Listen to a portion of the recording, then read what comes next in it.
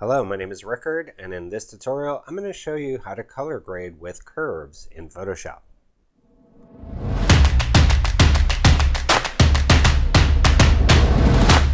So curves are amazing for color correction, and that's often what they're used for. But curves can actually be used to color grade an image as well. And what do I mean by color grade? By color grade, I mean give an image a different color look so often you see this with presets. I also have tutorials on how to do it with gradient maps. But curves are an amazing tool for doing color grading. Now if you want to follow along as you go in this tutorial, just go down to the description. I have a link in there. You can download all the assets to follow along. Let's get started. Okay, before we dive into color grading with curves, I want to show you a brief overview of the curves palette. So let's go to File, Open. We're going to open this sample image. I'm going to disattach it like this and just put it in this corner here and make it a bit smaller. I'm going to do Command, Spacebar Option, and just click a couple times. There you go. All right, now we're going to go to Image, Adjustments, Curves, which is Command M. Always learn your shortcuts. Command M is curves. All right, so the basics of curves, if you drag it up, makes the image lighter. If you drag it down, it makes it darker. The top of the curve is your light areas. The bottom of your curve is your dark areas. This, commonly referred to as an S-curve, will make your image more contrasty. And if you want to get rid of these, simply drag them outside of the window. If you want to make your whole image just darker, click in the middle and drag down. If you want to make your whole image lighter, click in the image, drag up. That is the basics of curves. And a few other things to know here. These you can keep on the defaults. We're not going to get into all that right now. Although I will note that if you're dragging down and it's making the image lighter, that's because pigment is turned on instead of light.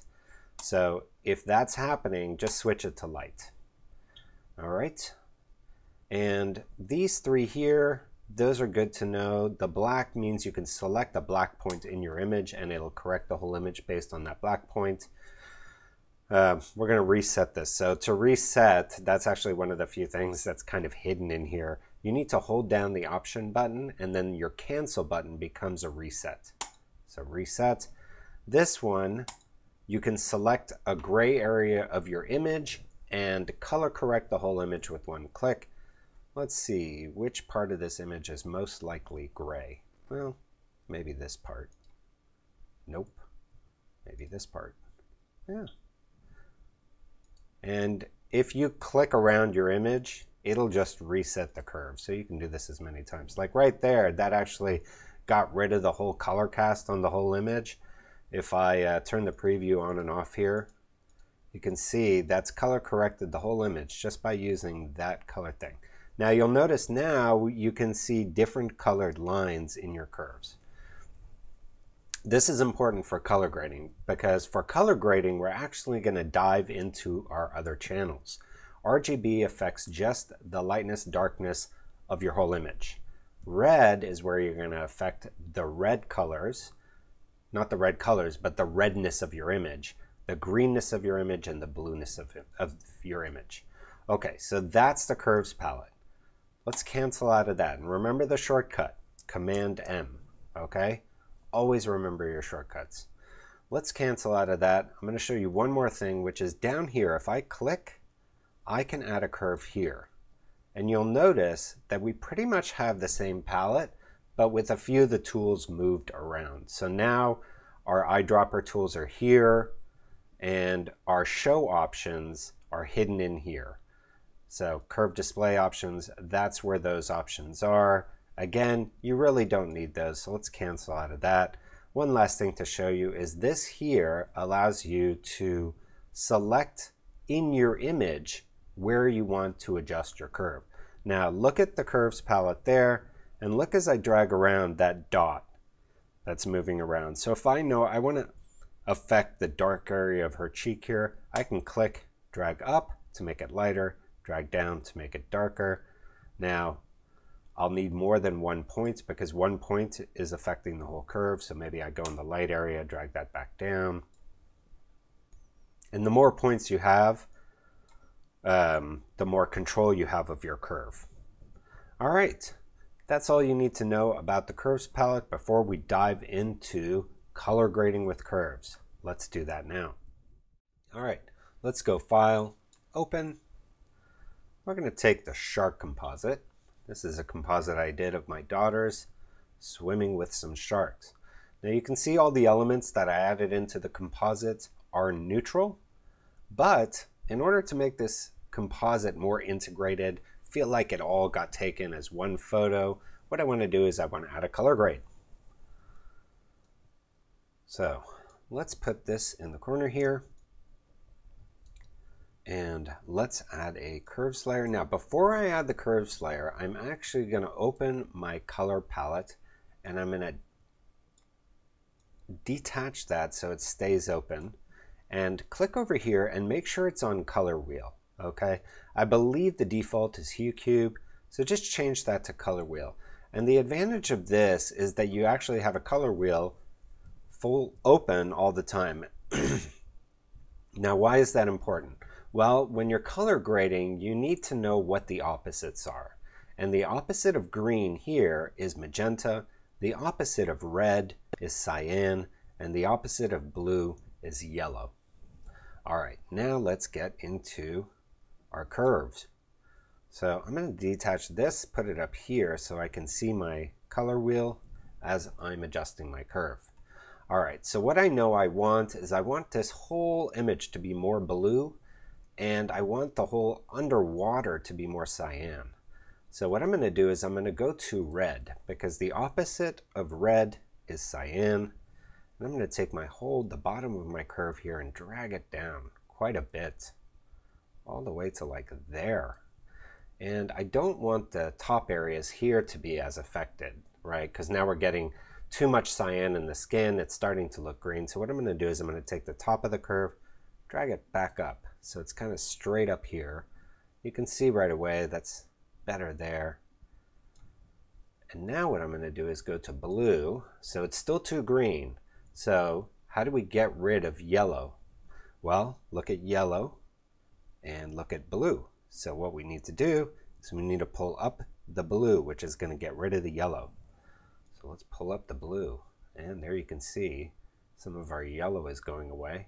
Now I do want some yellow in the skin tone. So just at the top here, the light areas, I'm going to drag this back down. So right about there. And maybe, maybe we want a little bit of magenta in this blue. So how do we add magenta?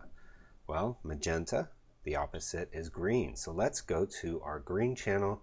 We're going to just drag this down a little bit here but I don't want magenta. There's too much magenta in the skin here. So again, we're just going to drag the top of the curve back up.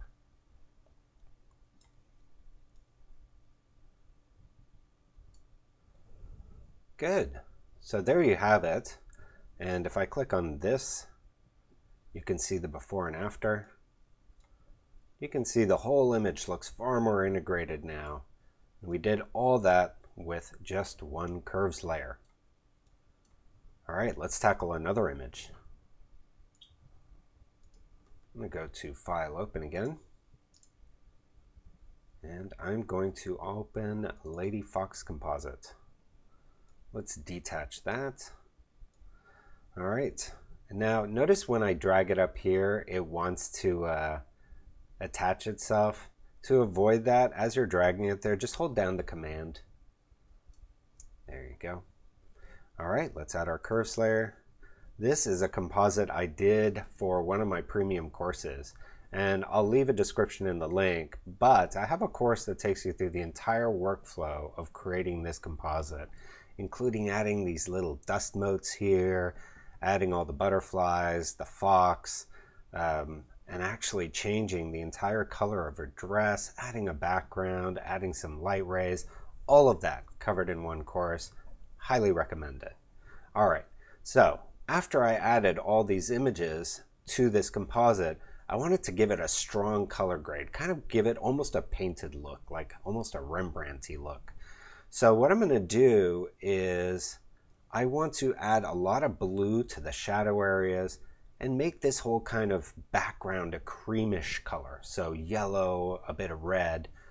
How do we do that? Well, the first thing we do is go to our blue channel. And because I want to add blue to the darks, I'm going to take the bottom of the curve and drag it up.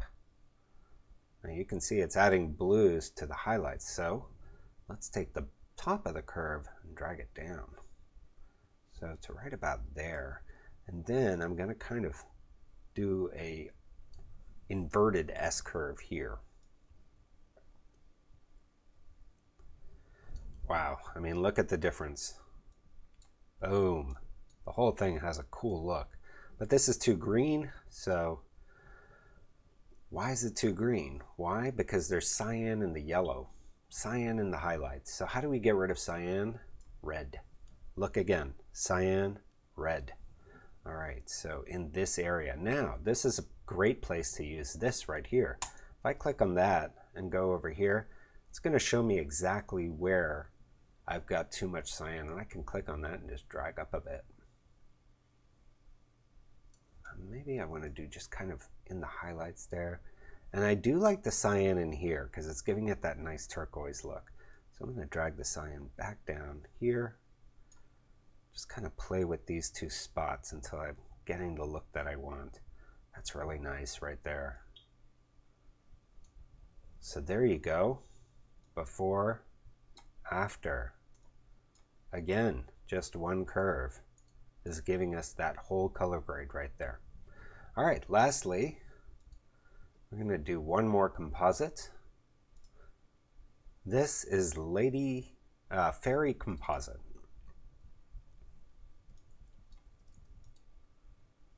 This is another course that I did. Um, and again, this is actually the course I recommend to um, everyone everyone who asks me which is the course I should start with. You can start with any course, but this one is the most comprehensive. It's two hours of training, and in it you learn everything to put together this composite, including how to create the glass distortion, how to add the scratches, how to add smoke, how to add the flames on the candle, how to create a second copy of a candle so that you can add that element into your foreground, how to cut out a person, um, even how to do frequency separation. It's all covered in this course. All right, after I finish my composite, again, in order to give it that illustrative look, uh, make it look more fantasy, less realistic, I want to give the whole thing a color grade. And in this case, I want to give it like a nice purple look into the shadows and then make the highlights warm. So let's go to curves. And purple is going to be adding blue and then adding some magenta. So we're going to be playing with the green curve and the blue curve primarily. Let's go to blue. I'm going to pull that up quite a bit. Right about there. If I pull this too much, we're losing our blacks. So I don't want to pull that too much, but I do want it more blue. So what I'm going to do is I'm going to pull the bottom up to there and then pull more of it up here. And But I want my lighter areas to stay warm. So I'm going to drag this down a little bit like probably to there. Kind of keep it straight after. be careful of your curve inverting itself because that's going to have some not so nice effects. Here's what happens if the curve inverts itself. You can see the whole image starts to break. So let's go there, there, maybe a little bit higher here.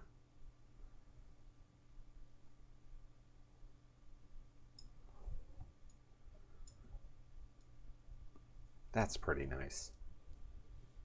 All right, let's go to the green. Add some magenta in there.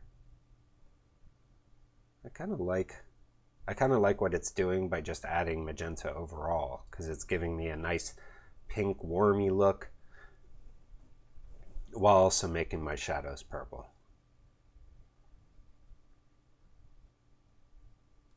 That's quite nice there. And then in this one, I actually may give the whole thing just a little bit of an S-curve. Punch up that contrast a bit. All right, before, after. See, the whole thing has now a color grade. And the beauty of having a adjustment layer is that I can click on the mask, go in my paint tool, and then paint out areas using black that I don't want affected by that color grade. All right, there you have it. That's how you color grade with curves in Photoshop. If you enjoyed this tutorial, please subscribe to my channel and turn on notifications so that you know when I put out new tutorials. I put out a new tutorial at least once a week. You'll see them on Monday mornings at 8.30 a.m. Otherwise, I did mention that I have some premium courses on Photoshop compositing. I'll put a link in the description for those courses. I also have premium assets for graphic designers, digital artists, and photographers. I'll also include a link for those. Otherwise, I will see you next time.